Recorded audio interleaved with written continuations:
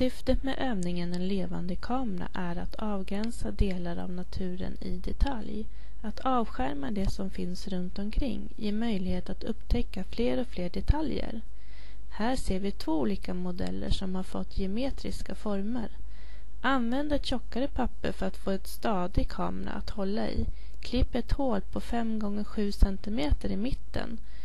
Ta med kameran ut och se vilka motiv du kan se i din kameralins. Istället för att se ett helt träd med stam och lövverk så kan du till exempel fokusera på en liten del av stammen och upplevelsen blir en helt annan. Att upptäcka naturen med kameran kan man göra på flera olika vis. Här är ett förslag på en övning.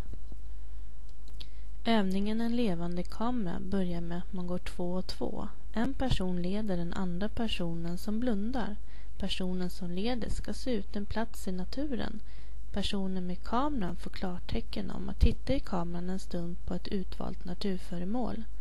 Sedan blundar personen med kameran och leds tillbaka till utgångspunkten. Personen med kameran får sedan berätta var den tror platsen var. Sedan går man till platsen och den personen som leder talar om om det var rätt plats. Sedan byter man roll, så den som fick se ett naturföremål genom kameran blir den som leder.